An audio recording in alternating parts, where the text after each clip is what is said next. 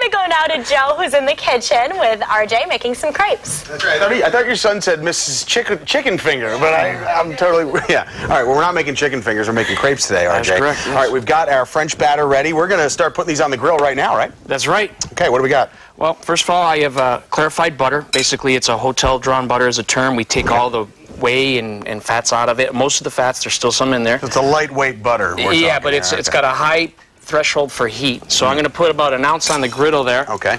And I'm going to make sure I get my batter here, the French mm-hmm. batter that we made. That's right. Wow, it's very light. And Very light. And I'm going to drop a ladle right here in the middle. Yeah, this looks so difficult the way when you find when you get the finished product that uh, it's this consistency can be rolled into something Yes, after it yes. uh, cooks for a few minutes. And um, we're going to let that go for about maybe a minute to two minutes on, uh, uh, pardon me, about a minute on this side and then a minute on the other side. Okay. And did you want to go ahead and try one? Yeah, absolutely. Okay. Now it's okay if it just spills out like that. yeah, right? We're a little uneven here, but that's okay. Okay. And you want to try to maybe s- start your butter up here. Up here. Yeah, Right and then it's because it's going to roll down away. Perfect. Right, Very okay. nice. See that? That's a perfect circle. Very nice. All right. Yep. Put the, and then uh, you'll go ahead and give your batter a little stir.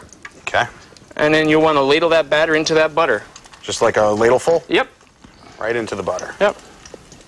All right. Oh yeah, look at that. Uh, very nice. I try. Very Okay. nice. So um, this whole recipe, I mean, making a crepe takes a couple minutes, right? Exactly, yes. That's what we want. You want to get a good quality product that you can make quickly and have it ready, available for the customer. Right now, like on a, on a given Sunday, uh, maybe even this Sunday, how many crepes are you? Uh, Oh, my making? land. It's going to be a lot. We're, Yeah. We are very well prepared for that. We're going to go through uh, maybe a thousand eggs for the day, at least. right? Yeah, it be that exactly. It is the busiest day of the year. We do get uh, uh, our highest volume on that day. Okay, now we're going to be topping these off with some really interesting cherry uh, Exactly. right?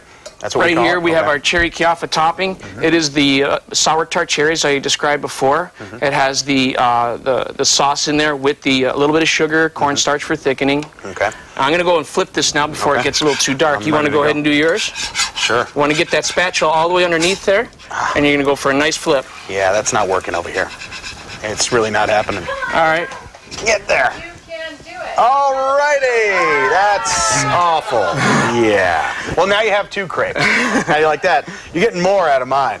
So look at that. I'm just going to cut. Well, I'm not going to cut it. That looks kind of like a heart, doesn't it? Very good. All right, enough of that. All right, let's put the. Uh, now the, the filling is just uh, like you said. It's a pretty simple filling, but you have to reduce it. Exactly. Right, Yeah. okay. You want to you we, you boil it down, and uh, it it brings out the, uh, the, the the tartness in the cherry and the sweetness in the sugar as well. Great, great. And So- you have other fillings too at the. At Yeah, restaurant we as well, right? have uh, fresh strawberries. Um, I'm going to drop this right Yeah. in here. Oh, look at that. Raspberry. We may also make a raspberry crepe. Mm, that sounds good.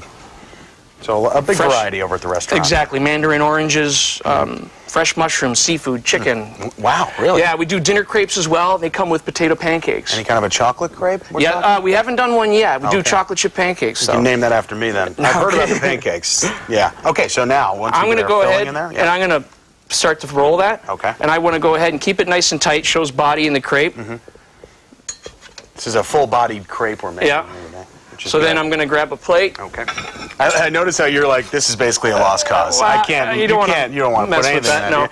I'll just eat that myself later. So we're gonna put that. that- Beautiful. on our crepe, and then I want to dust with a little powdered sugar. That's always good. Guys, you got to smell this. It smells great in the kitchen right now. And then I'm going to go Um, ahead and more cherries on more top. More cherries right? on top. Okay, and this whole recipe takes uh, you know roughly two minutes. So I guess the key is to not let it cook too long. You got to be a little Yeah, uh, exactly. on that, Yeah, right? you want to you want to flip it quickly because if it does go too long, the crepe is difficult to roll. It cracks. and it's just not doesn't taste as good. No, no, right. it has a burnt flavor. RJ Joel, thanks for uh, joining us here today, making some great crepes. Uh, we're going to be showing you what to do with the leftovers coming up. Back to you guys.